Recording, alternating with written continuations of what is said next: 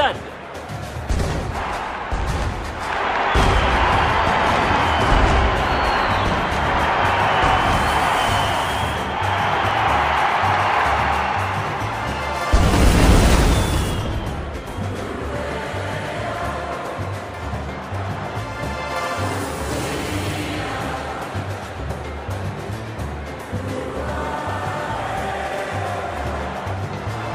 Placez-vous dans les starting blocks.